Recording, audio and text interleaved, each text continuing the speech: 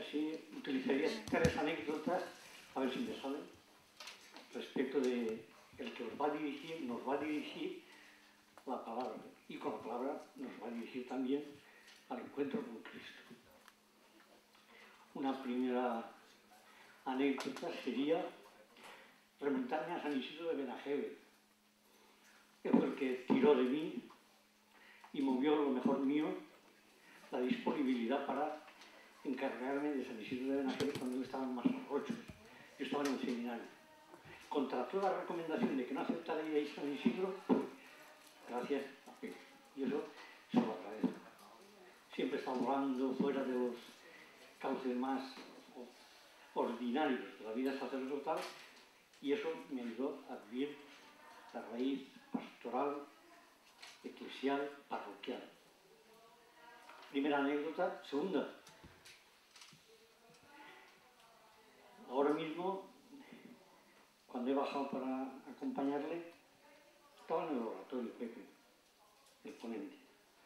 Lo cual dice mucho, es un pequeño gesto. A veces no tenemos tiempo ni para dedicarlo a lo que es fundamental, a fundamental. Y todos los títulos, obras, títulos, facultades que, por las que ha pasado, ha recibido, ha recogido, como si fuera una esponja que se empapa, ha recogido lo fundamental, lo esencial de la vida cristiana. Por eso el segundo aspecto podría ser casi el más importante. Pero después es un hombre cariñoso en el sentido más profundo del afecto, de la simpatía, de la cordialidad, de la acogida, tan imprescindible en tantos aspectos y especialmente en nuestras iglesias locales y parroquiales. Transmitir serenidad, paz, sosiego, tranquilidad, afecto, afecto con mayúscula el Dios. Y Cristo es el gran revelador de Dios. Bueno, pues si eso no es bastante para motivarle a traerlo, yo ya no soy ya para que, para que esté aquí de, de presidente de esta comisión. Esos tres aspectos guardados en el corazón como tres perlas, porque son las que van a dirigir ahora nuestra nuestra oración, como es costumbre entre nosotros, breve, que va a ser el salmo de acción de gracias por todo lo que hemos vivido en estos días, en estos, en estos encuentros, porque la fe es un encuentro. En el nombre del Padre, del Hijo y del Espíritu Santo. Amén. Dad gracias al Señor porque es bueno, porque es eterna su misericordia. Que lo digan los rescatados por el Señor, los rescatados del poder del adversario, los que ha reunido de todos los países, de oriente y poniente, del norte y mediodía. Dad gracias al Señor porque es bueno, porque es eterna su misericordia.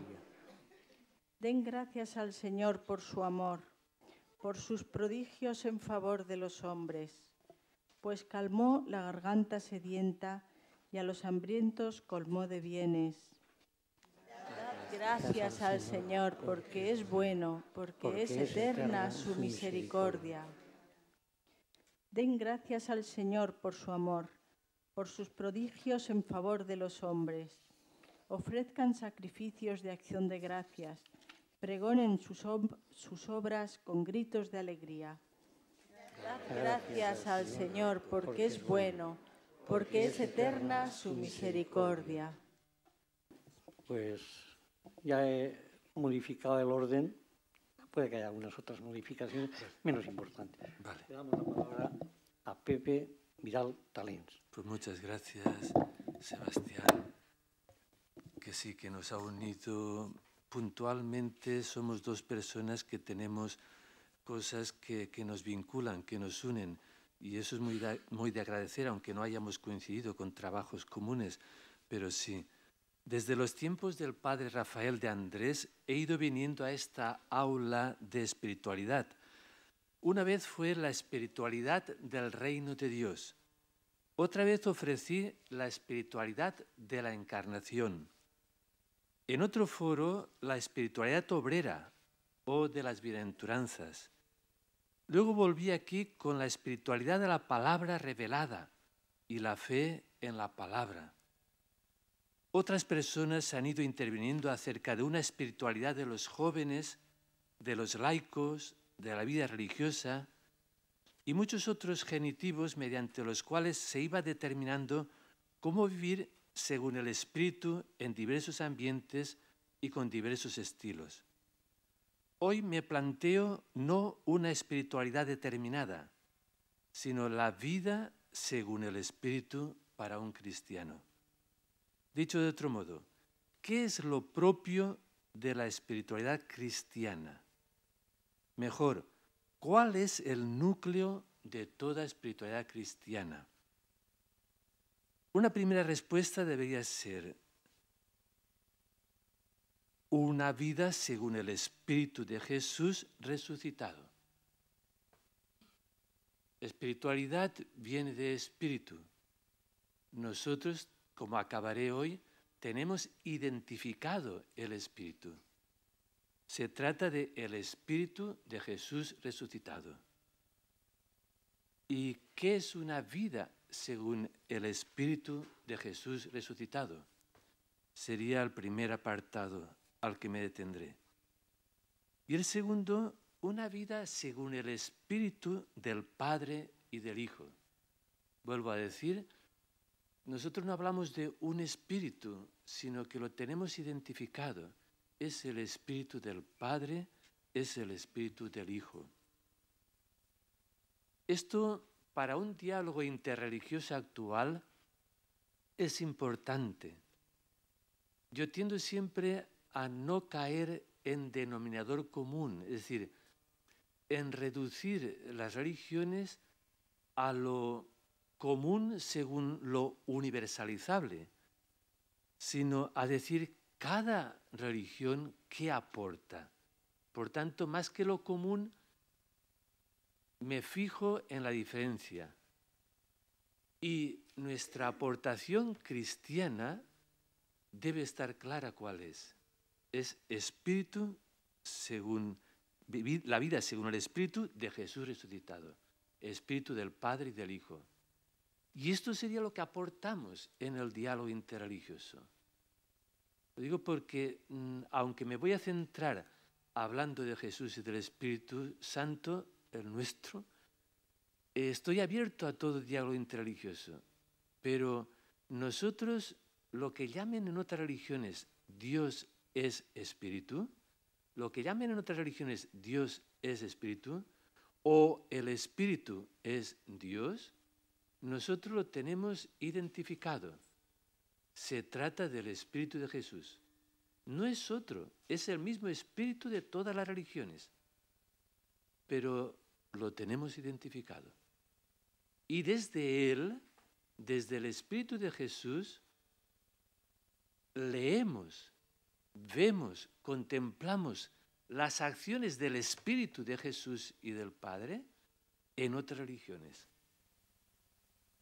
Esto lo considero importante desde los tiempos que estoy más centrado en la cristología y estoy más centrado en, el tema del diálogo interreligioso, pero aportando nosotros lo que nos toca aportar. Por tanto, comencemos el apartado A, la vida la nuestra, la vida, que va a ser vida según el Espíritu de Jesús resucitado.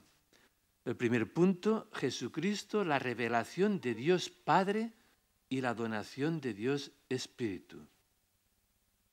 Jesucristo culmina la historia de la revelación personal de Dios como Padre que nos toma como hijos suyos por el Espíritu que nos comunica.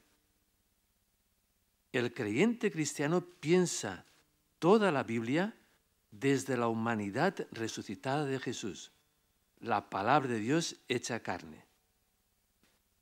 En darnos como nos dio a su Hijo, dice Juan de la Cruz, que es una palabra suya, que no tiene otra, todo nos lo habló junto y de una vez en esta sola palabra. y no tiene más que hablar. Todas las otras palabras divinas las leeremos a partir de esta palabra de Dios encarnada. Esta fe en Jesús crucificado y resucitado nos libera de la tentación de suplantar a Dios, erigiéndonos cada uno en la última palabra, para sí o para los demás. Debemos estar atentos a la palabra. Nos libera de la pretensión de disponer del absoluto o del secreto último de la realidad. Se nos ha confiado. Tiene un nombre personal, Jesús de Nazaret, hijo de mujer, hijo de María, crucificado y resucitado. Ese es el secreto último de toda la realidad.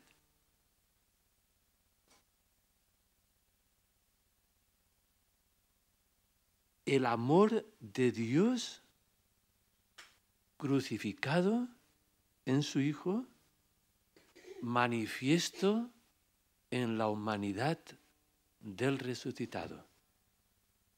Hoy vivo, actuante, enviándonos su Espíritu. La fe en la palabra de Dios, en la persona de Jesucristo resucitado, implica acogida en el corazón, meditarla, guardarla, permanecer en ella, permanecer en su amor, escuchamos estos días.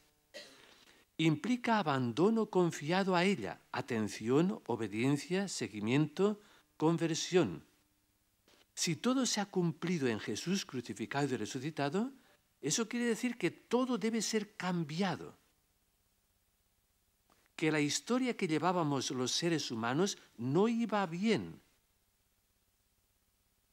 Porque matamos a Jesús, algo pasó ahí que no ha estado bien porque Dios ha resucitado al que nosotros matamos. Que la historia que llevábamos los seres humanos no iba bien, que es necesaria una transmutación de los valores, como la sugerida por las bienaventuranzas no se escucha la palabra ni se contempla la vida y destino de Jesús para que todo siga igual. Si Dios hizo justicia a Jesús, los que son víctimas y sufren las injusticias humanas, como Jesús, están esperando que se les haga justicia y esperan fundadamente que Dios no se tardará. El creyente cristiano cree en el Dios que hizo justicia resucitando a Jesús. Por eso se solidariza con los que sufren y ora, ven pronto, Señor Jesús, ven pronto. Y cree y espera que todo puede ser diferente. Espera un cielo nuevo y una tierra nueva. Caminamos en la fe, ciertamente, aún no en la visión, aún no en la victoria. Pero no perdemos la paz, en medio de los calvarios de nuestro mundo porque venimos de Jesucristo y caminamos hacia Jesucristo. Mientras nos identificamos con Jesucristo y con quienes Él se identificó, conmigo lo hicisteis. Mateo 25. La fe, pues, en la palabra de Dios en persona, que es Jesucristo, implica una vida nueva, la vida entera, una vida testimonial, martirial, implica testimoniarla con la vida, como nos recordaba Carlos de Foucault. Con palabras vale, pero también con los silencios, con justicia y con verdad. El Evangelio de Dios, que es Jesucristo, no es una estrategia de acción social. Compromete toda una vida. Es un estilo de vida según las bienaventuranzas. Es una vida que se entrega, nadie nos la quita y se entrega por amor y se da para que otros tengan vida y la tengan en abundancia. El punto segundo, no nos ha dejado huérfanos. Jesús nos ha enviado su Espíritu como otro defensor que aboga por nosotros. ¿Cómo estar atentos al Espíritu de Jesús resucitado en el trabajo que hoy realiza en nosotros y en nuestro mundo? el Espíritu de Jesús resucitado está trabajando. El Espíritu trabajando sin cesar. Cuando en estos días del, tiempo pascual decimos que Jesús está junto al Padre intercediendo por nosotros, la intercesión de Jesús y el trabajo del Padre, mi Padre también trabaja. Jesús también trabaja. El trabajo del Padre y del Hijo es enviarnos constantemente su Espíritu de vida, su Espíritu Santo. La intercesión no hay otra. La oración de Jesús es enviarnos su Espíritu. Y el Espíritu está trabajando en nuestro mundo y está trabajándonos a nosotros. Eso es necesario que lo creamos firmemente. No está de brazos cruzados Dios.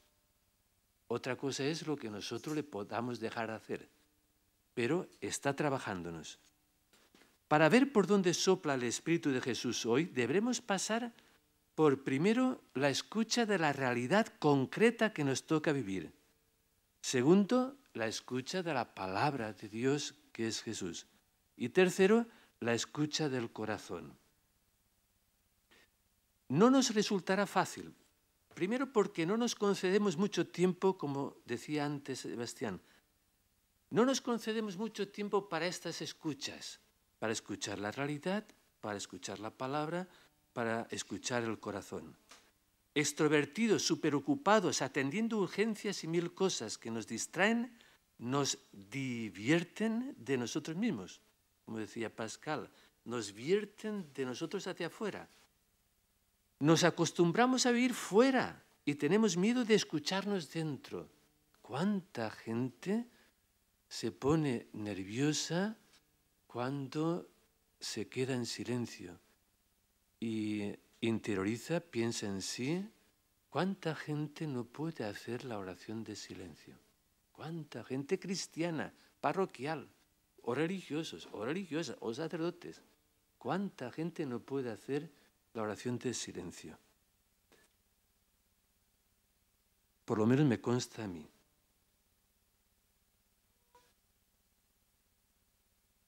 En segundo lugar, porque aun intentándolo, intentando hacer el silencio, hemos de sufrir un aprendizaje para no confundir voces. El tema de las voces que se escuchan, el tema de las visiones, el tema de lo que Dios me dice, no confundir voces, un tema difícil, el discernimiento ignaciano, para no hundirnos en sentimientos que nos atrapan, para no rechazar interpelaciones y poder resistir ante ellas sin salir huyendo. Y en tercer lugar, lo tenemos difícil, entre el contexto histórico y cultural de la palabra de Dios y nuestro contexto vital hay tal distancia que la sentimos muy extraña a nuestra vida, la Biblia. Hoy, desde nuestra cosmovisión científica y racionalista, seguimos dificultados y no nos han preparado para leer los relatos bíblicos y los distintos géneros literarios que allí se hallan. Nosotros enseguida pensamos, esto lo cuenta así, pero no sería así, esto no pudo pasar, esto... Y solo ese tipo de pensamientos, porque estamos con el racionalismo y con la objetividad histórica, ya nos, nos impiden, nos dificulta aprovechar de la palabra de Dios. Eso es lo que os digo, es decir, no nos han preparado para la lectura del relato. El relato no es información histórica, es un relato. Lo que pasa es que en este relato se nos cuenta la historia de Dios con los hombres y por tanto habrá historia. Pero los relatos no hay que ver si sucedió, pues no pudo suceder, si no sucedió. Hay que entrar en el relato y ahora no puedo eh, detenerme ahí. No basta saber leer para escuchar hoy la palabra de Dios, pero si queremos hacer de nuestra vida algo digno de Dios y de nosotros mismos, no hay más camino que ejercitarnos en estas tres escuchas. Comencemos la escucha de la realidad. Es a lo que nos creemos más habituados, porque nos la están haciendo continuamente los medios de comunicación social y todo el mundo tiene una opinión de lo que pasa. Y todo el mundo corre a tener su opinión, coincidente más en un periódico o en otro, en una televisión o en otra, o en un partido o en otro, y todo el mundo se atreve a hacer el análisis de la realidad. En nuestro tiempo de jóvenes, nosotros se nos enseñó pues, a hacer análisis de la realidad, analizando el capitalismo y las causas de este sistema injusto e intentamos ahí trabajar algo. Pero ahora los análisis que nosotros nos hacíamos, pues bueno, nos parecerían de un simplismo enorme. La realidad es muy compleja. Es lo primero que tenemos. Un respeto por la realidad. La realidad no se fuerza con nuestras ideologías, con nuestros prejuicios. No, no se fuerza. Entonces, escuchar la realidad es estar muy atento y muy abierto, eh, lo que llaman también mística de ojos abiertos, ¿eh? De Met. Es a lo que nos creemos más habituales, pero nuestros análisis de la realidad deberían ampliarse a la escucha de los corazones humanos. Si vamos a auscultar, vamos a auscultar espíritu, eh, no, es, no, es, un análisis solo científico, no es un análisis económico. Hay que auscultar corazones humanos. Por eso una buena pista es aus, auscultar el sufrimiento. ¿Por dónde va el sufrimiento? De lo que nuestro Papa actual Francisco eh, ejercita diariamente es muy sensible. Quiero escuchar al Espíritu. Escucha el sufrimiento de los hombres. Esto es importante porque algunas espiritualidades o algunas personas que están muy pendientes de, la vida interior a veces hacen como, como, dos partes, ¿no? Bueno, eso es lo que dice el mundo, yo voy a, a mi intimidad, ¿no? ¿Quieres escuchar al Espíritu de Dios? Escucha lo que le duele a la humanidad. Escucha lo que duele en los corazones humanos. Hoy no disponemos de un análisis de la realidad global, como creíamos nosotros de jóvenes y nos pasaron, que había un análisis de la realidad global, que destacaría algunas claves, pero ignoraría mucha vida no integrable en esa mirada global. No vale ninguna mirada global. Eso de la globalización no vale ningún análisis global. Cuando algún análisis global lo impongamos, mataremos mucha vida, mucha diversidad y generemos mucho sufrimiento. La realidad merece un respeto mayor y la realidad es diferencia.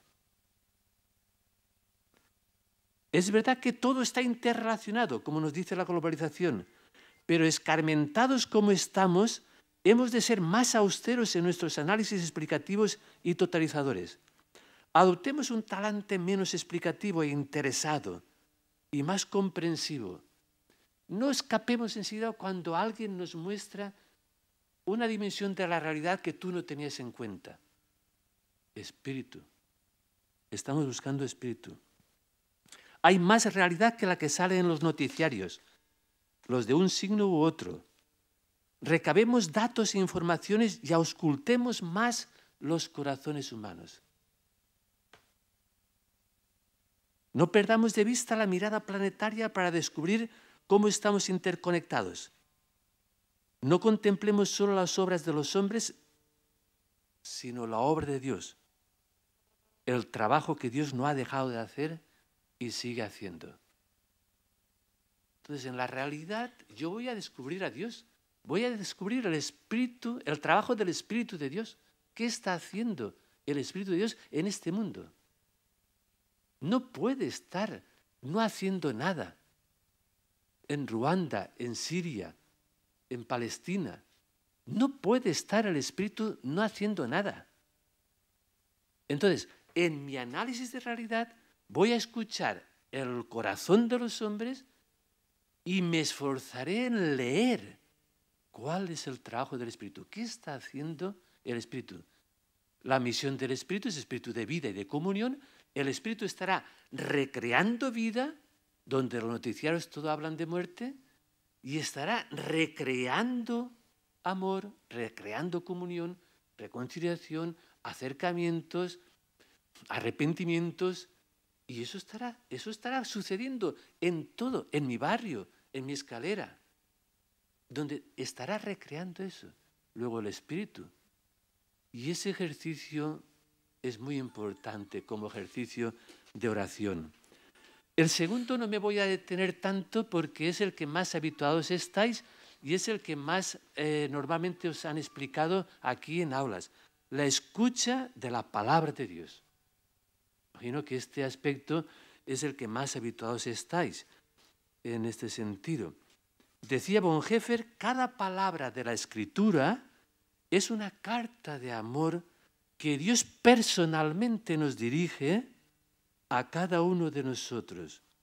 Y es al mismo tiempo una pregunta sobre si nosotros amamos de verdad a Jesús. Bonhoeffer es normal, está muy centrado en Jesús y la cristología es su alma. Entonces, eh, eh, estamos leyendo una página de la Biblia, la que sea, la que sea. Y entonces, hemos recordado antes, tendremos que tener un poco de formación, sí, pero mi madre cuando leía el Evangelio tampoco necesitaba tener más formación. Algo nos dirá el Evangelio. Yo le decía, en lo que no entiendas lo dejas estar, pero lo que entiendes, solo lo que entiende, solo lo que uno entiende, ya entiende mucho. Entonces, en eso que estamos leyendo, que lo diga, es la, carta que Dios nos escribe para hoy. Y nos dirige a cada uno de nosotros. Y al mismo tiempo, la pregunta que nos deja, ¿qué? ¿Estás amando de verdad a mi Hijo Jesús, que fue mi mayor regalo? Porque la Biblia se resume en Jesús, o culmina en Jesús. ¿Estás amando de verdad a Jesús? Y a la Biblia hay que plantearle nuestras preguntas. Porque efectivamente nos dicen mil veces que la Biblia es la respuesta a los interrogantes del hombre. Pero si no tenemos ningún interrogante, si todo lo tenemos claro, entonces la Biblia habla muy poco, porque no tienes ningún problema. No sufres por nada. Entonces, a la Biblia hay que plantarle preguntas, problemas, interrogantes. Bonhoeffer decía en esto, tan solo así, si tú llevas interrogantes, si cuando entramos en la Eucaristía de un domingo, tú llevas algo, por tanto, los momentos iniciales, los momentos anteriores a la Eucaristía, de silencio y de preparación, o al menos el momento primero de la Eucaristía, que no es solo revisar pecados, sino cómo he llegado a esta Eucaristía. Si tú llevas algo que poner en la mesa, te llevarás algo de la mesa. Si no, no. Si no llevas ninguna preocupación, ningún problema, ningún interrogante, pues Dios está respondiendo a preguntas que no te haces. Esto es muy importante en la escucha de la palabra de Dios. Tercero, la escucha del corazón. Finalmente, disponiéndonos a la escucha del corazón que escuchamos. ¿Qué escuchamos cuando nos quedamos en silencio? ¿Qué escuchamos cuando nos quedamos en silencio? Normalmente, imagino que nosotros no estamos llevando vida contemplativa y, nuestros silencios no son muy largos. Y bueno, pensemos, por ejemplo, si pudiera disponer de 20 minutos, pues ¿qué sería una oración de silencio de 20 minutos? O si no, al menos de 10 minutos. Cinco minutos es ni entrar, ¿no? Entonces, eh, entras ahí y lo primero que, cuando te quedas en silencio, lo primero que aparece en tu cabeza y en tu corazón son nuestros deberes. Ay, que tenía que hacer esto, que no se me olvide. Yo ahora en la capilla he estado haciendo, pues, no sé si estaría eh, un cuarto de hora en mi silencio. Y ya viniendo en la bicicleta, ya estaba pensando, mañana por la mañana, que tengo? No, esto está, esto, pero no, tengo algo más, tengo que hacer algo más. Tengo Y ahí, eso es lo primero. Eso hay que aceptarlo. Sobre todo si estáis ocupados, si, sois trabajadores, si sois personas que tenéis cosas que hacer, si vuestra vida, pues eh, es normal, es normal. La, inteligencia está despierta y, bueno, vale. Esto se puede mm, llevar de otra forma. Es decir, puedes hacer meditación leyendo, muy bien. Y entonces ya te fijas tu atención ahí. Puedes hacer de muchas formas, pero yo estoy yendo a lo difícil. Decirles, no, no, no es lectura, no es reflexión, no es pensar sobre un problema, vengo a estar, vengo a estar, cabe Dios, vengo a estar ante ti, Señor, vengo a hacer silencio. Por tanto, hay que hacer silencio. Hay hoy técnicas orientales que ayudan, pero nosotros no vamos a poder, lo siento, no vamos a poder. Si sabéis relajaros o os inician un poco en la relajación, os hará bien, no, no os quepa duda. Pero nosotros formados como estamos, no vamos a entrar muy lejos, no vamos a ir muy lejos. Si os enseñan a respirar, mejor. Si os enseñan a sentaros bien, mejor. Pero, pero no vais a ir muy lejos ahí. No confiéis a la técnica.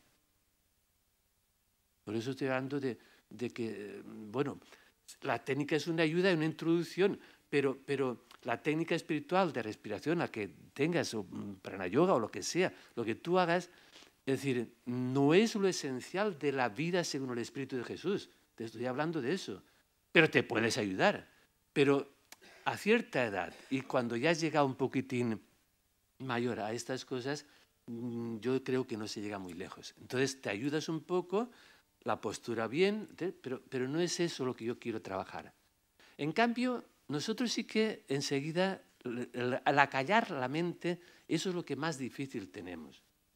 Para eso, ritmos eh, de respiración y, técnicas como el Zen o como otras cosas pueden ayudar, pero tienes que dedicarle mucho tiempo. Y la gente que veo yo aquí creo que no le vais a dedicar tanto tiempo. Una hora por la mañana, una hora por la tarde, para que realmente la técnica dé el fruto que se nos anuncia o promete.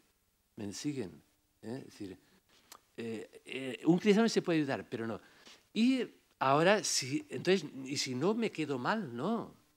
Es, quizá Dios ha venido en Jesús también a facilitar las cosas, a que Dios llegue con su amor a la gente que no puede hacer las, media, las dos medias horas de, de meditación con la técnica X, la que sea oriental.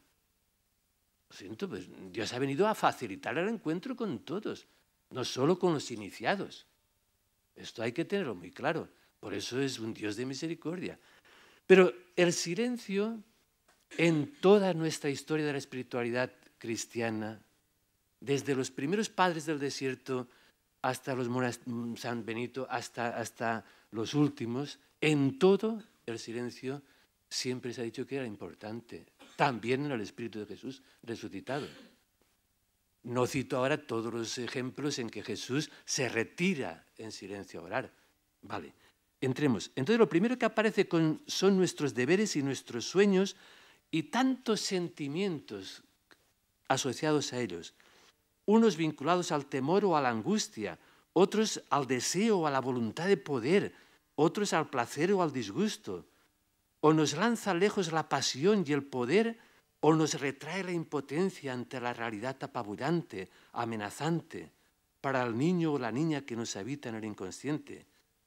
Hay que enterarse de lo que se siente, sobre todo hay que tomar conciencia de los sentimientos dominantes en nuestra vida. No hay que negárselos, pero somos libres todavía para obedecerlos, para permitir a esos sentimientos dominantes que tengan tanta influencia como pretenden, o no tanta. Podemos tomar distancia, vale, estoy sufriendo una ansiedad por una serie de temas, etc. Tomar distancia.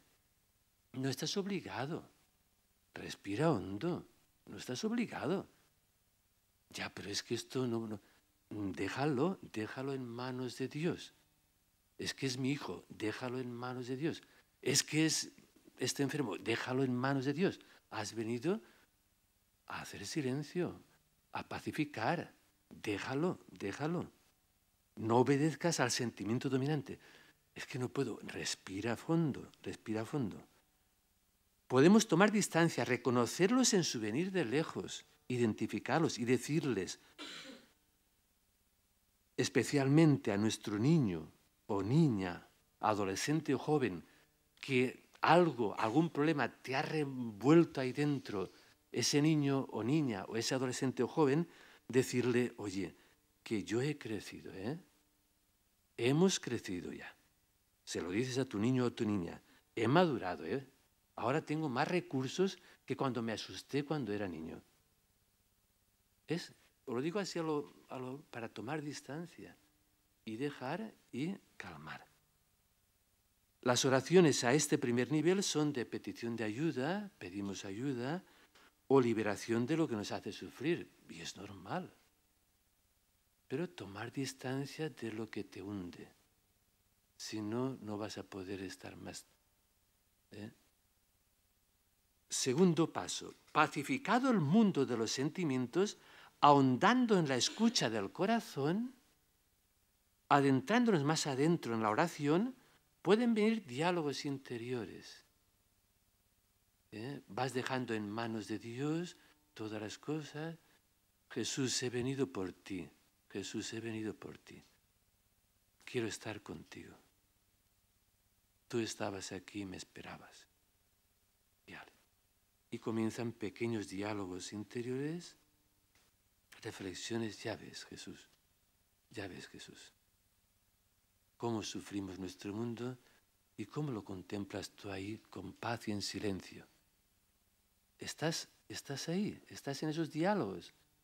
Tú estás ahí en el sagrario, en paz y en silencio. Yo vengo así. Y tú entras, entras en esos Análisis de la memoria. Me preocupa esto. ¿Qué llevo? Eso que arrastro. O, eso, o proyectos que soñamos. Jesús. Pero ahora no es cuestión de trabajarlo. Voy a dejarlo. Voy a dejarlo. No, porque he venido para darte un beso. He venido para abrazarme a ti. He venido para estar contigo. Ya, pero mañana tengo... Sí, pero ahora lo dejo. O sea, hay, hay bastantes minutos, no cuantifico, en que hay que hacer ahí el movimiento de, ya, ya, ya, te veo, te reconozco, sentimientos, ideas, proyectos, sueños, sufrimientos, y dejarlo al lado. He venido por ti. Y centrarse sencillamente en, bueno, lo citan mucho, mirar que me miras. Bueno, pues Teresa, pues nuestro mundo, nuestra gente, mira, no, no, no, no puede con eso. Y por eso insisto tanto en estos primeros minutos, para ir dejando. Si no vas dejando a un lado, o en manos de Dios, igualdad, ir dejándolo, no puedes, no puedes durar mucho. ¿eh? Expectativas, frustraciones, responsabilidades asumidas, necesidad de respirar hondo. Todo, todo, todo te lleva a necesidad de respirar hondo. Si preguntas a Dios lo que quiere de ti, has de abrirte también al, amor que te alcanza. No, no, preguntes más deberes, eh, preguntas a Dios, ¿cuál es tu voluntad sobre mí? Estás pidiendo qué, qué debería hacer. Pero no lo hagas eso si no te sientes amado, si no te está alcanzando su amor. Luego ya, sabiendo que me amas tanto, Señor, ¿qué podría hacer por ti? ¿Qué podría hacer por ti? Pero los deberes que no vengan antes de reconocer que te mira con amor. Si no, volverás a apabullarte, no podrás, te levantarás y ya no podrás seguir. La oración se va componiendo de diálogos y silencios en este momento, de peticiones y acciones de gracias. Qué bien lo has hecho, Señor qué bien lo has hecho. Y te detienes y descansas en esa gratitud. De esperas y esperanzas, mañana será mejor, Señor, mañana será mejor. Y te detienes en esa esperanza. Señor, tú por encima de todas las cosas, poner a Dios, deseos de poner a Dios por encima de todas las cosas, ya, ya lo sé, ahora volveré a, tomar todo lo que he dejado aquí al lado. Pero tú por encima de todo, contigo, contigo, equipo con Dios para poder volver a salir de la oración. Y tercer momento, ahondando todavía en la escucha del corazón, puede que sí, que ya resistas más tiempos de silencio. Y silencio interior, ya no, ya no estamos desasosegados, estamos contentos de estar con Dios, estamos agradecidos Y entonces es cuando pueden resonar voz interior que no son voces que se oyen, no se oyen, sino son voces interiores del Espíritu, que sí, que en el silencio el Espíritu sugiere mucho, y tanto. Ah, por eso había que hacer esto, porque el Espíritu nos habita, es el Espíritu de Jesús, no sin contrastarlo con la palabra, pero el Espíritu va haciendo trabajo en ti. ¿Y qué te está diciendo? Que ya solo queda ser santo. Pues vale. ¿Qué te está diciendo? Ten paciencia. Sé comprensivo, sé misericordioso como, el Padre es comprensivo. Sé ¿Qué te está diciendo? Confía, Abba, Padre mío, confío en ti. ¿Qué te está diciendo? Y eso es lo que, ¿qué te está diciendo? Que lo que no podías tienes que levantarte y anda, levántate y anda.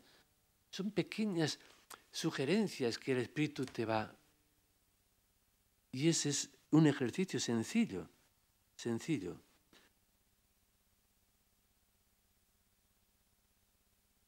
Aunque le creamos omnipotente a Dios, y decimos en el credo todopoderoso, pensad que si Dios es amor y no deja de amar, y algún santo ha dicho, y solo sabe amar, su amor también es impotente. Cuando nació en Jesús, asumió impotencias. Jesús finito como nosotros.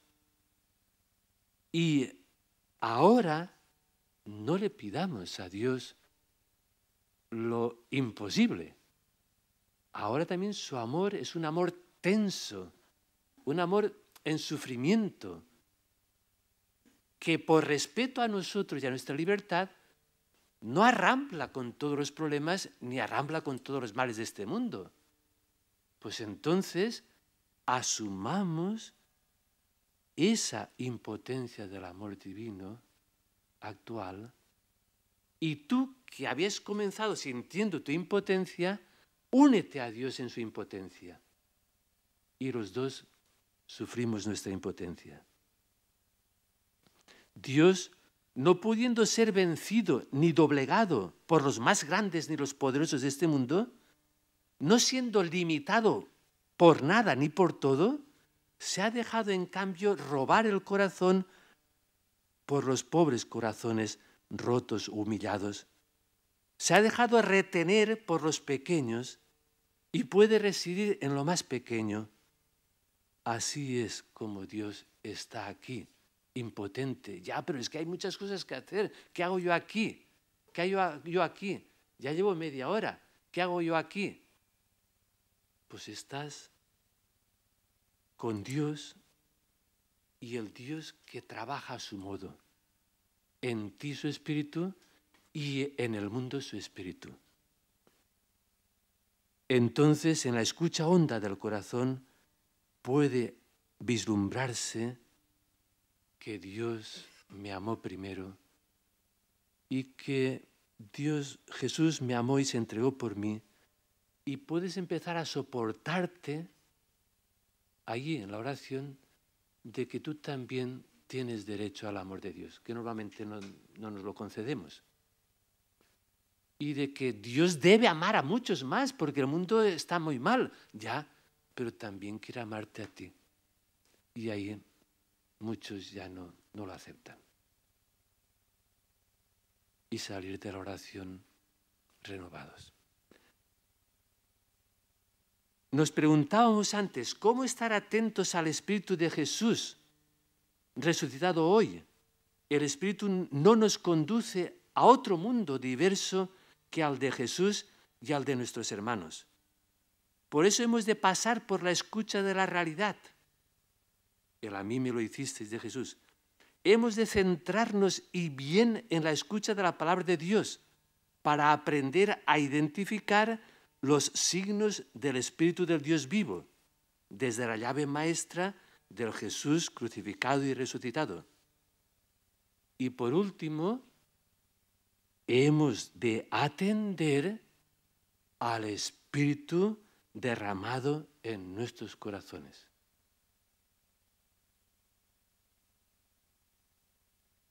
Ayer o anteayer, en las palabras que dirigí en la misa de mi parroquia, eh, en ese permanecer y en ese espíritu que estamos estos días meditando, le dije, somos sagrarios que caminan. El espíritu. Es Dios. Hay que atenderle. Y por eso decía el silencio. Llegamos en el tercer apartado al núcleo de la espiritualidad cristiana, espiritualidad desde el misterio pascual. Bien, en esto podríamos haber hecho camino con mucha gente eh, que también busca espiritualidad. Sobre todo lo de la escucha del corazón lo compartimos con toda la humanidad que haga hacer silencio. Todos los que saben hacer silencio y escuchan el Espíritu en ellos. Eso lo compartimos con todos. Entonces, ahora lo difícil ahora es compartir lo que sería el núcleo, el núcleo de la espiritualidad cristiana, que es el misterio pascual de muerte y resurrección. Uno podría decir, hombre, pues eso también se parece a lo de morir y resucitar, al renacer que está en todas las religiones. Sí, yo tengo una cita de Zambrano, María Zambrano, que decía, el hombre nunca ha nacido del todo. Tiene el trabajo de engendrarse nuevamente o esperar ser de nuevo engendrado. Es decir, el destino de toda la historia de las religiones nos dice que el destino del hombre es nacer de nuevo.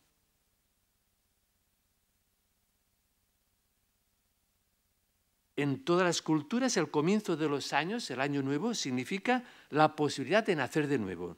El ser humano no acaba nunca de estar nacido. Estamos siempre renaciendo.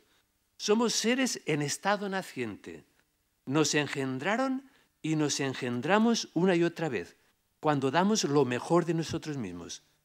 Nos nacemos cuando somos fecundos, cuando nuestra vida da vida, genera vida en nosotros y en los demás. Pero tan importante como nuestra acción es esperar, es esperar ser de nuevo engendrado. Tan importante como nuestra acción es esperar ser de nuevo engendrado. Y ese ser de nuevo engendrado, sacramentalmente, la teología lo tenemos muy claro en la teología bautismal, y eso es misterio pascual, y eso es vigilia de resurrección, ese ser de nuevo engendrado, quien nos ha de engendrar de nuevo, ya no es forzarnos nosotros, quien nos ha engendrado de nuevo, quien nos ha hecho renacer de nuevo como hijos de Dios, ha sido el misterio de su Hijo crucificado y resucitado y el Espíritu que nos ha regalado. Es decir, no soy yo, no es fruto de una técnica de espiritualidad, no es fruto de un trabajo mío, es un don que he recibido, es el don del nuevo nacimiento que Jesús dice a Nicodemo, habrá que nacer de nuevo. Y este nacer de nuevo, en todos los parecidos que tenga con los nuevos nacimientos de las religiones, que hay muchos, mucha iniciación a nuevos nacimientos en las religiones primitivas y en las religiones actuales, este, nosotros decimos, este no es nuestro, no es de la tierra. Esto no tiene que ver con los renacimientos de después del invierno viene la primavera. Esto no tiene que ver con las religiones cíclicas, lunares, solares. No tiene que ver con las religiones de muerte y resurrección del tipo de los ciclos de la naturaleza. Esto tiene que ver con una muerte histórica. No es que vuelva la naturaleza, se llama Jesús de Nazaret crucificado. Y es ahí, a los pies de esa cruz, donde tengo mi nuevo nacimiento. Ya Krishna también tuvo su muerte y también parece que eh, resucitó, pero es un ciclo, es un ciclo, es un eterno retorno en la espiritualidad oriental hindú. Es decir, en todo parecido del nuevo nacimiento con las religiones tanto primitivas como más desarrolladas, aquí estoy hablando de que yo nací a los pies de la cruz. Por eso, de Viernes Santo, Sábado Santo, Domingo de Resurrección, ahí está mi nuevo nacimiento.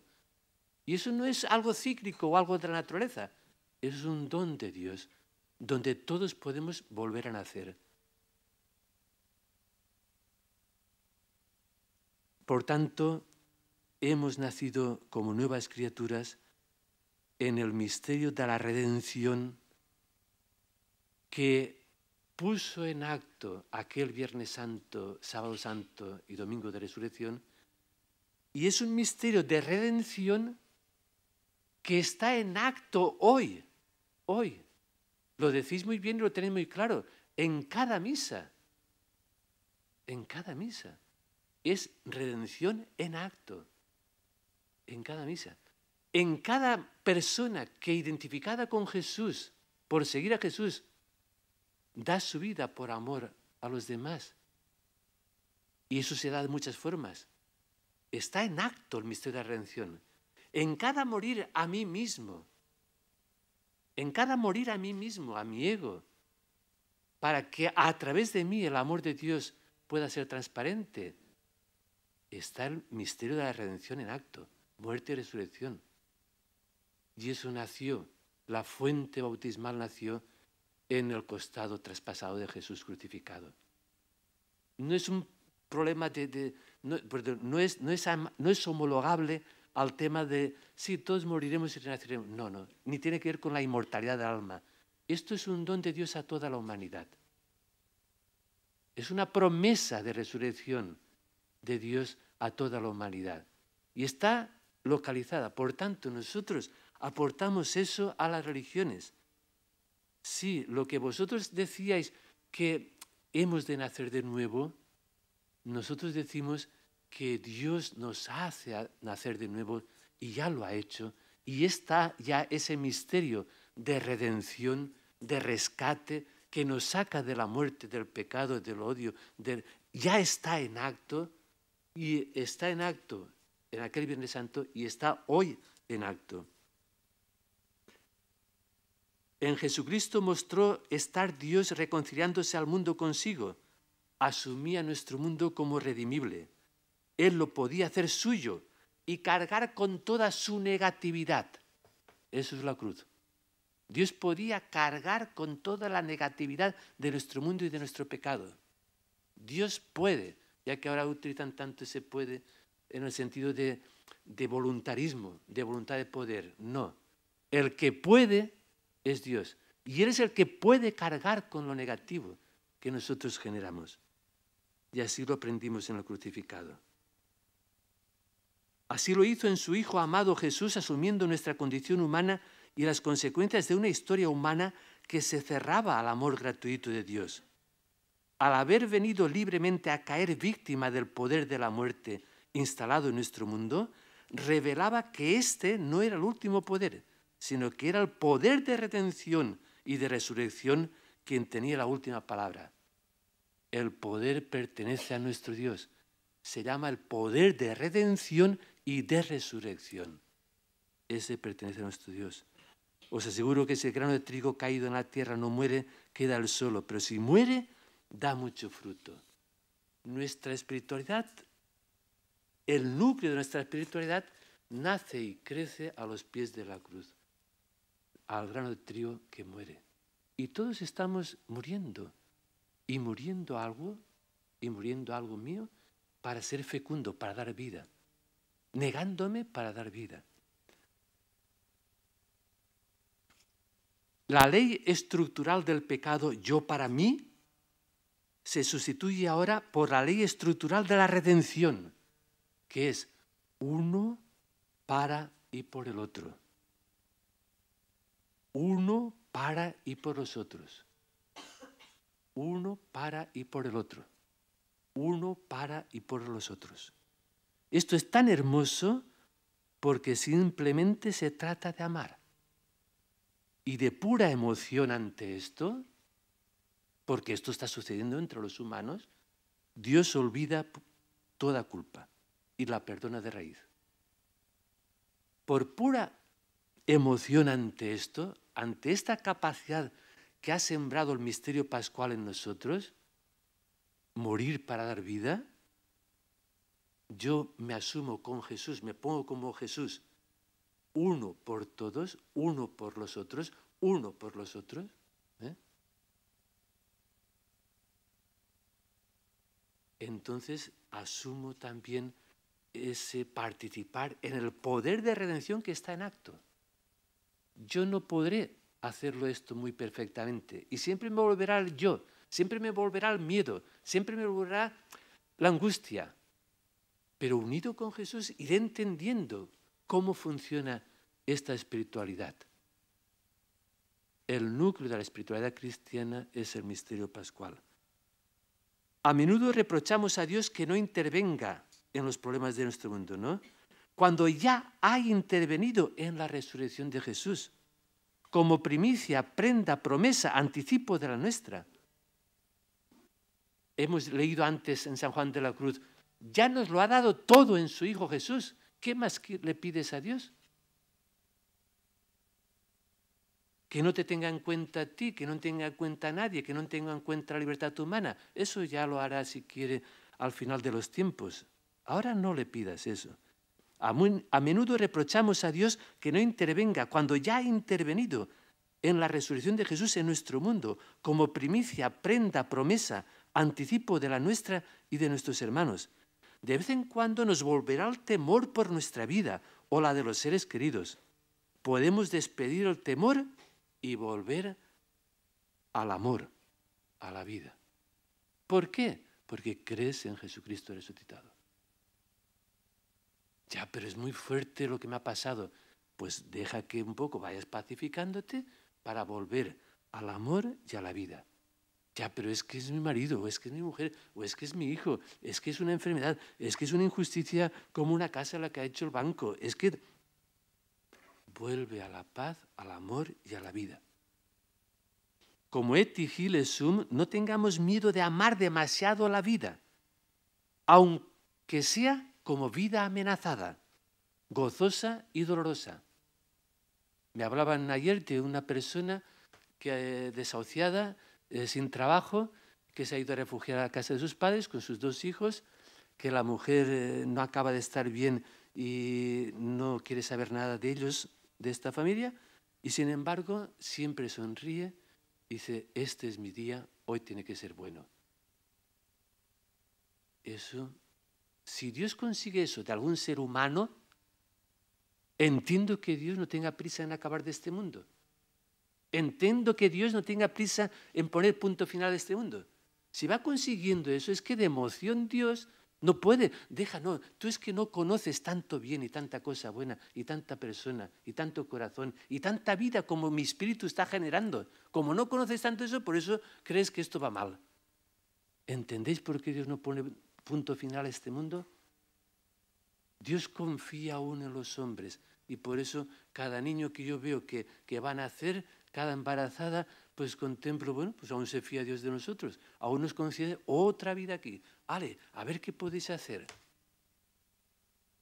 Este es la espiritual, el núcleo de la espiritualidad del misterio pascual.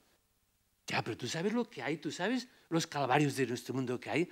Ya lo sabemos, claro que lo sabemos, y conozco perfectamente, y por eso lo llamamos calvario. Todo viene de un Viernes Santo, ya lo sé. Pero, pero también sé que del viernes, el sábado y el domingo de resurrección. Acabo ya y el punto B es, es, ¿es el cristianismo una espiritualidad? Espiritualidad serían caminos de unión a lo divino. Pues sí, también nosotros, pero la del Espíritu del Padre y del Hijo. Es decir, insisto en lo primero que dije, se trata de un espíritu reconocible y reconocido. San Ireneo se sirve de una metáfora.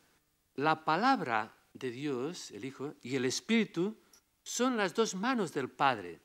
Con esas dos manos creó el mundo, con esas dos manos la encarnación, con esas dos manos la redención, con esas dos manos eh, la promesa, el futuro, la palabra y el espíritu. También dice San Juan de la Cruz en Dichos de Amor y Luz, eh, el número 99, una palabra habló el Padre, que fue su Hijo, y ésta habla siempre en eterno silencio. Desde antes de la creación, Dios habla la palabra en eterno silencio. Durante la creación, en la redención, sigue hablando la palabra en eterno silencio. Y tú dices, no, en la Biblia ya ha hablado con palabras humanas. Ya, no te olvides que es el Espíritu el que habló por los profetas. No te olvides que es el Espíritu por el que Jesús se encarnó de María Virgen. No te olvides que es el Espíritu el que guía toda la vida de Jesús. No te olvides que cuando muere Jesús exhala su Espíritu. No te olvides que en el Espíritu resucita Jesús. ¿Y si donde San Juan de la Cruz pone eterno silencio, nosotros pusiéramos en su eterno Santo Espíritu? Diría yo entonces, una palabra habló el Padre, que fue su Hijo, y ésta habla siempre en su eterno Santo Espíritu sigue hablando, como puede en las religiones y en las tradiciones religiosas, explícitamente, personalmente en su Hijo Jesús y también en mi corazón. Por eso San Juan de la Cruz acaba. Una palabra habló el Padre que fue su Hijo y ésta habla siempre en eterno silencio, en su eterno Santo Espíritu. Y dice, y en silencio ha de ser oída del alma. Luego, en el mismo Espíritu Santo ha de ser oído la palabra de Jesús. Y entonces también nosotros, con el Espíritu y con Jesús, andamos. El Espíritu es alguien en nosotros, no es una energía, no es un calorcito, ¿eh? no es una luz azulada, como alguien que ve visiones. No, no. El Espíritu es alguien Dios tiene un nombre, es el Padre de nuestro Señor Jesucristo y Padre nuestro. Y nos hace confesar con los labios y el corazón a Jesús, nuestro hermano. Jesús es el Señor. Por eso, crece nuestro amor a Jesús, de gloria.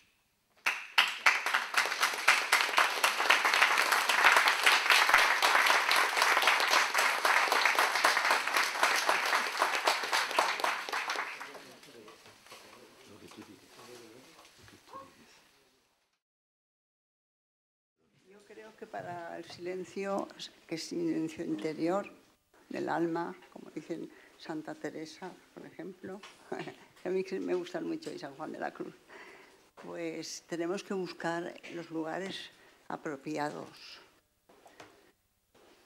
Porque claro, en un lugar de bullicio también puede surgir, pero es mucho más difícil. Y bueno, quitarnos todas las preocupaciones que usted ha dicho. Entonces, eh, esto ha, pedido un poco de entrenamiento. Eh, no es necesario, yo le digo, no es necesario ir a lugares especiales, aunque los lugares especiales cada ayudan. Persona lo necesitamos los lugares especiales ayudan. Pero unas religiosas que hay una cantera enfrente y mm, tienen un pequeño monasterio allí incipiente, iniciando, y dicen, pues vámonos a otra parte más solitaria, van a otra parte más solitaria. No es eso, no es el problema ese. No es el problema. El silencio interior es más, más interesante. En la ciudad lo podemos vivir. En los niños que mm, patean por arriba de mi piso, yo puedo hacer silencio. Solo es un poco de entrenamiento. Es cuando oyes cualquier ruido, cualquier ruido, advertirlo. Bien, ay, qué bien, los niños ahí jugando y corriendo. No enfadarse, nunca enfadarse con el ruido que se escucha. Nunca enfadarse con el ruido que se escucha, ya sea de la cañería o lo que sea. Bien, también hay seres humanos que viven aquí al lado mío. Es identificarlo, reconciliarte y apartarlo. Y vuelves, pero estoy aquí por ti, Señor, no por los niños o no por el tráfico o lo que sea. El silencio no, no aspiréis solo a los lugares especialísimos de retiro, de, ¿saben?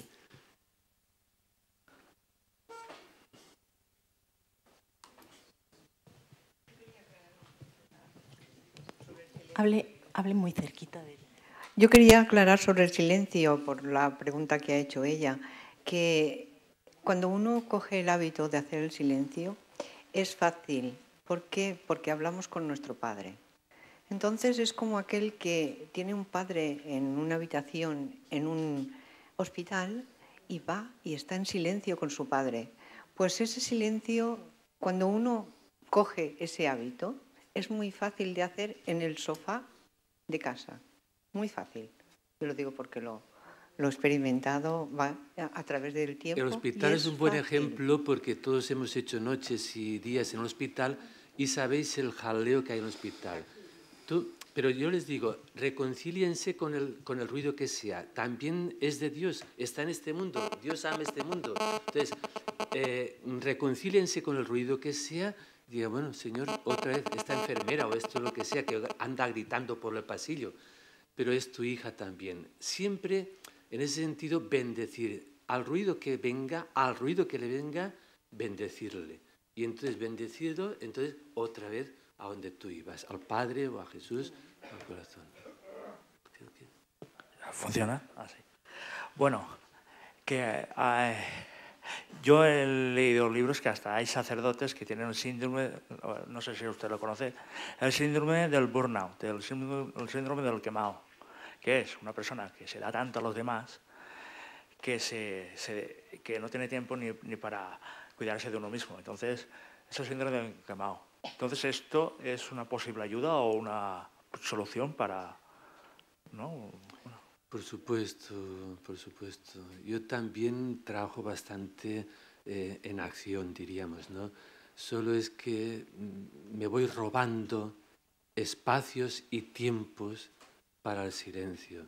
Entonces, si estos sacerdotes pues pudieran, pudieran apagar radios, pudieran apagar televisiones, pudieran apagar eh, móviles, pudieran apagar alguna cosa y se fueran y, y, no se pusieran nerviosos en el silencio. El problema es que mucha gente el silencio le tiene miedo. Y, y vale, Gracias, gracias. Ahí eh, un poco ayudaría también. Es que nuestra cultura no es del silencio. Los que están trabajando aquí el silencio es el centro budista que tengo en mi calle Sagunto, son las meditaciones, etcétera esto. Y entonces el catolicismo somos muy, mm, muy verbales, muy verbalizados, eh, somos de una inflación verbal continua. Entonces podemos hacer muchas conferencias sobre la espiritualidad y vivir poco el silencio. Entonces es el problema que tenemos nosotros, mea culpa. Entonces debemos cuidado ¿eh? porque yo creo que esto habría que comenzar desde los niños. Es decir, eh, esto, en eso, esto es muy importante. El oratorio que está funcionando como modo de hacer catequesis puede ser interesante, pero y hay otro también, el, del buen pastor, y otros, pero todavía son muy, muy verbalizables. Es decir, mucha, mucha palabra y mucha canción. Hay que empezar a los niños que gocen con el silencio.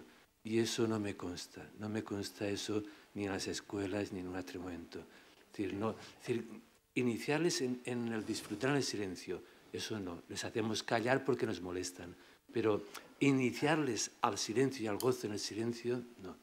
Entonces esto nuestra sociedad occidental lo tiene muy difícil, pero quienes estáis aquí se ve que tenéis algo de sed por algo.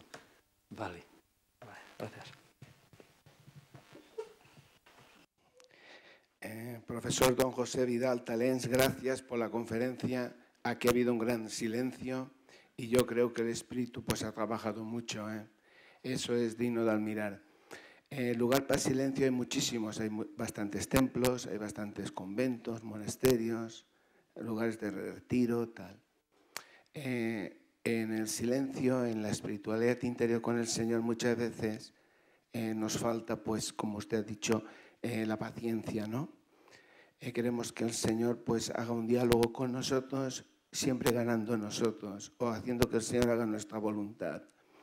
Y entonces desistimos en este diálogo y en esta interiorización espiritual. Eh, necesitamos en parte todo lo que usted ha dicho, de la paciencia y de la esperanza. ¿Qué puede usted, eh, aparte de todo lo que ha dicho, ha dicho mucho más, muchísimo, en esta parte que, que, es verdad, queremos que sea todo rápido y ya.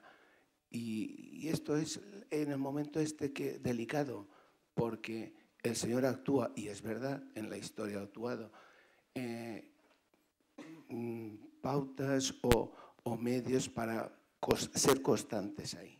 Una cosita o dos. Eh, paciencia y esperanza eh, es muy bueno, muy bueno, muy bueno, muy bueno lo necesitamos. Paciencia y esperanza se hace difícil cuando tenemos que vivir pacientemente y con esperanza ante algún clamor de, de algún sufrimiento, algún grito, y entonces queremos enseguida tapar ese grito, enseguida solucionarlo y, y aliviarlo. Entonces, eso, eso pide también ir, ir, ir contemplando que ese grito, tú haces algo, pero que Dios está haciendo más. No corras. Dios no corre nunca. El reino de Dios trabaja con tiempos largos. Incluso asume que yo me, me, haya muerto por el camino. Es decir, no es necesario que yo vea el resultado. ¿eh? De hace tres días me está llegando sin parar un WhatsApp desde, desde Chile, eh, una mujer que hemos atendido en nuestra Cáritas, que fue expulsada eh, con, vamos, oficialmente por eh, el Estado español después de años con nosotros y se fue a, a, a su tierra Bolivia y como su familia no la recibió porque no traía dinero, pues ha, ha, emigrado, porque aquí no puede volver, a Chile, a Arica. Y enviándome, enviándome mensajes, ya le ayudé desde aquí allí, enviándole dinero para el viaje y dije, pero será lo último, ahora tienes que ir ahí y atender, porque Caritas sin seguimiento no puede, hacer, no puede hacerse. Yo no la puedo seguir allí lo que está haciendo eso. Entonces yo tenía que cortar. Pues me sigue enviando ahora mensajes. Yo los tengo que sufrir. Es decir, porque no, yo estoy ahora reprimiendo mi tentación de contestar. Y me está costando. Eso es paciencia y esperanza. ¿Dónde está? Paciencia porque, Señor, ahora está en tus manos, no en las mías. Ahora está en tus manos, no las mías. Encima lo que me está pidiendo ahora no tiene sentido. Entiendo que por haber pasado por la cárcel, la expulsión o lo que sea, y no haber sido aceptado por su familia, es que su cabecita no estará muy ya bien. Entonces lo que me pide no tiene sentido humano que yo eh, acceda. Entonces me estoy reprimiendo. Y entonces, ¿qué hago? Pues ese, ese reprimiendo lo convierto en oración. O sea, yo, Señor, no la dejes, no la dejes. Ahora está en tus manos. Y dedico mi tiempo por esa persona. Y ahí porque espero, o sea, yo confío ahí en que Dios tiene más medios que los míos. Y que su espíritu trabajó a través de mí durante el tiempo que estuvo conmigo aquí, diríamos, en nuestra parroquia. Pero ahora el Espíritu suscitará a otras personas. Y yo me uno a ese trabajo. Señor, pues igual le está costando que encuentre a alguien que le ayude, ¿verdad? Entonces tú estás sufriendo, Señor. Yo me pongo a tu lado a sufrir contigo. Eso es paciencia y esperanza, no es, no es aguantar. Paciencia y esperanza es acompañar un sufrimiento desde la oración en unión con Dios cuando Él también ve que se está tardando, que esta persona, si no la ayudan, su cabecita parece que no está rigiendo muy bien. Vamos a ver. Eh, sí, eh, dice el Señor que cuando queramos estar con Él, que entremos en nuestro, en nuestro cuarto, que cerremos las puertas y ventanas. Y eso a veces parece eh, que nos resulte algo físico, que, eh, como comentaba usted antes, ¿no? que no es retirarse a un lugar donde no se oiga ruido, porque el ruido precisamente lo tenemos dentro de nosotros. Nos vienen las ideas, nos vienen 50.000 cosas a la cabeza, entonces es muy difícil el, silenciar ese, ese ruido, ¿no? el quedarnos en ese cuarto cerrando puertas y ventanas de nuestro interior. Entonces eso eh, se precisa de bastante, digamos, además de gracia, ¿no? eh, de técnica y de perseverar muchísimo. Y es una gran dificultad, y lo digo porque yo soy guía de talleres de oración y vida, soy guía de talleres de oración y vida del Padre Larrañaga. Y, y entonces uno de los primeros eh, problemas y más grandes problemas que tenemos al principio de las sesiones es que la gente no consigue hacer silencio de ninguna manera. Incluso la gente que suele hacer oración rezada, digamos. ¿eh? Pues bueno, nosotros ofrecemos este humilde servicio y bueno, pues eh, también pues, es por ofrecer el servicio ¿no? a toda la gente que lo pueda necesitar y tal. Son 15 sesiones durante 15 semanas, dos horas a la semana. Y bueno, pues enseñamos a la gente a orar y desde luego el primer paso para hacer oración es el silencio. Muchas gracias.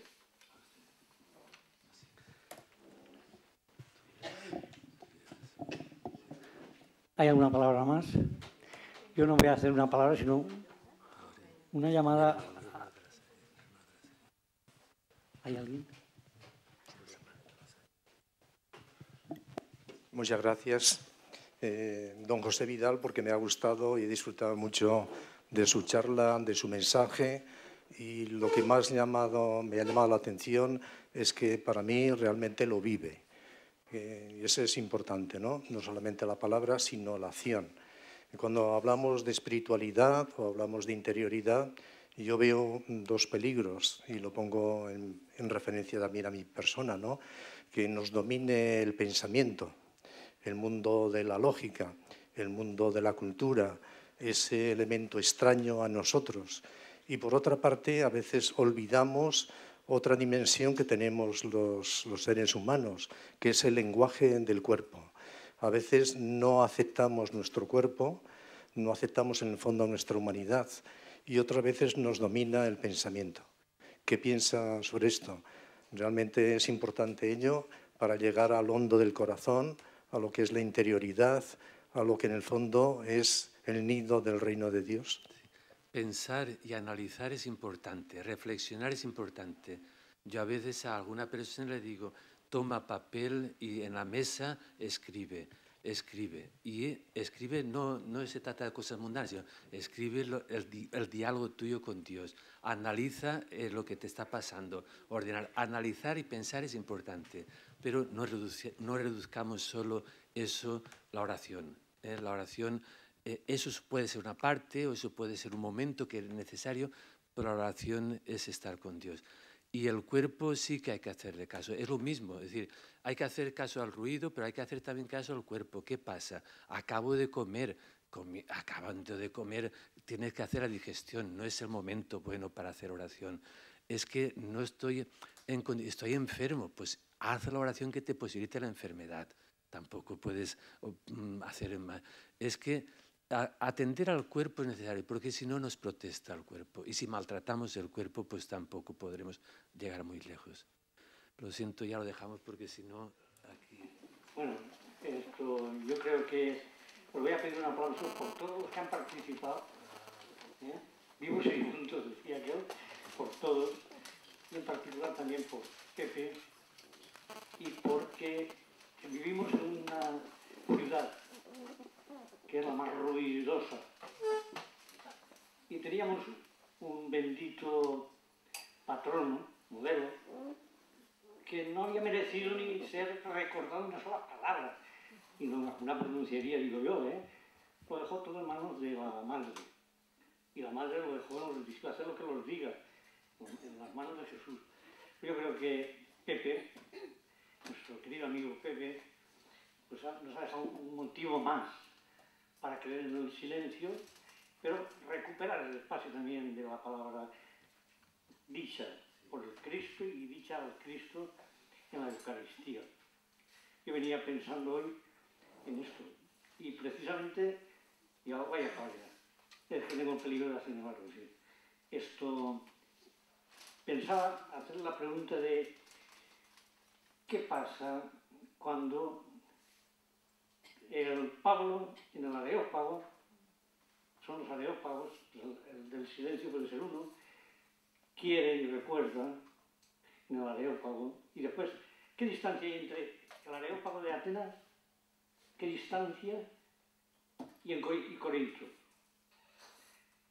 Bueno, lo que quería decir con esta parábola es que precisamente hasta llegar a expresar y vivenciar o expresar y, hacer vida lo que es en Corinto hablar de Cristo y Cristo eh, crucificado, que es el resucitado, hasta llegar ahí y no conformarse con aquello de buscar eh, en el areópago los puentes, eh, los contornos para hacer amable y creíble el Evangelio, ¿qué distancia hay entre esto y la proclamación de la cruz como camino para la glorificación? Antes de proclamar, lo que os animo es a meditar un poco si el núcleo de nuestra espiritualidad es el misterio pascual, que profundicéis un poco en ese sentido, porque, porque nuestro nuevo nacimiento nace de un, viernes, de un jueves santo, viernes santo, sábado santo y domingo. A ver eso que pueda significar primero en nosotros y luego intentaremos. Pues gracias, Pepe.